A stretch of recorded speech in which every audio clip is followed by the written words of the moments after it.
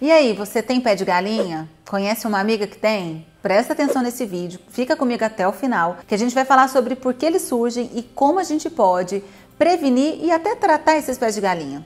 Eu sei que você já imagina por aí na toxina botulínica como uma ferramenta principal para tratar esses pés, mas vamos conversar mais sobre eles? Pessoal, essas marquinhas que surgem em volta dos olhos quando a gente sorri, são provocadas pela contração da nossa musculatura durante todos os dias, à medida que a gente vai sorrindo, conversando, e essa contração, repetidas vezes, o dia todo, meses, anos, faz com que comece a se formar ali vincos e marcas. Bom, não dá para parar de sorrir, né? A gente tem que ser feliz, mas a gente pode sim, tanto prevenir quanto tratar essas marcas. Quando a gente fala em prevenção, o ideal mesmo é começar a fazer toxina botulínica antes que essas rugas se marquem. O ideal é começar por volta dos 30, 28 anos de idade. Eu comecei a aplicar em mim toxina botulínica eu tinha 28 anos. Se você tem o hábito de aplicar toxina botulínica pelo menos duas vezes ao ano, você certamente vai diminuir a força de contração desse músculo e você dificilmente vai ter pés de galinha muito, muito marcados. Na, na verdade, aliás, acho que você nem vai ter. Isso é muito importante. Prevenir. Mas nem todo mundo consegue prevenir. Tem mulheres aqui, homens que provavelmente já têm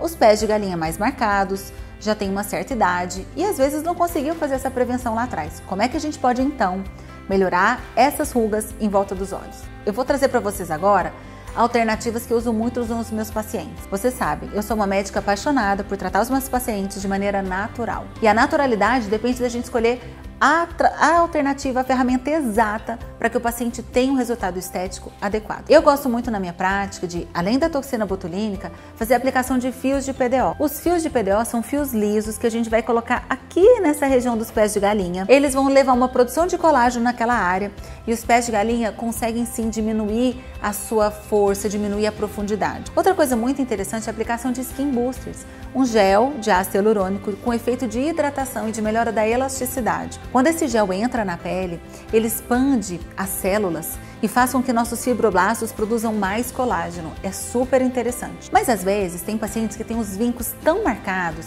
que a gente precisa fazer alguma tecnologia. E aí utilizar o laser de CO2 fracionado ou erbium fracionado, ou a radiofrequência microagulhada, ou alternativas que estimulem o colágeno daquela região, vai ajudar bastante. Diante de tantas possibilidades, qual é a melhor?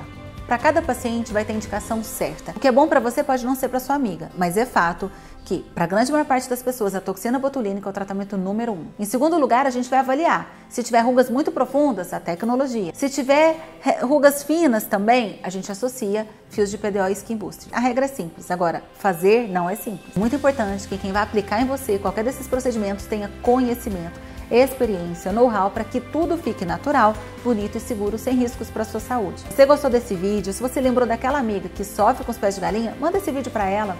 Eu tenho certeza que ela vai te agradecer por saber um pouco mais sobre esse universo. E procure se prevenir, né? Quem é jovem ainda, cuide de você o quanto antes. Deixa nos comentários para mim depois algumas sugestões de conteúdo e eu te espero semana que vem, hein?